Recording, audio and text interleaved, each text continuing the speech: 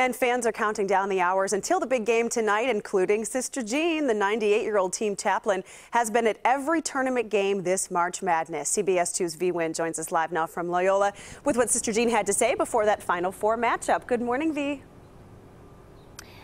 Good morning, Marissa. Things are quiet now on campus, but that won't be the case later today for a watch party. Sister Jean is already in San Antonio, and fans have embraced her with open arms. Now, Sister Jean spoke to the media yesterday and says she couldn't believe the turnout. She's now an international superstar with her own merchandise and fan base. The National Bobblehead Hall of Fame is trying to keep up with the demand for the Sister Jean bobblehead. We learned most of the orders have been coming from out of state. Fans in San Antonio couldn't get enough of the Sister Sister Jean cutout, many of them stopping to take pictures. Sister Jean says she is amazed by the response from people across the country. I think to myself, who am I? Don't don't let it go to your head. I ha-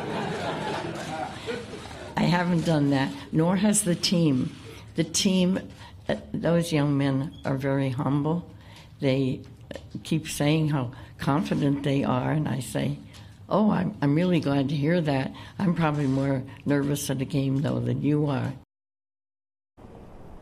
Now, Sister Jean says she has been praying for the Ramblers and for the Michigan Wolverines, but at the end of the day, says um, she is hoping that the Loyola Ramblers will take home the big victory. Reporting live from Loyola, Vi Nguyen, CBS 2 News. Marissa, back to you.